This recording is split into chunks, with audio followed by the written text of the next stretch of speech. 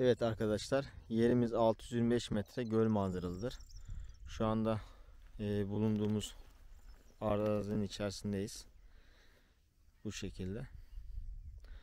Arazimiz düz bir konumdadır. Full orman manzaralıdır.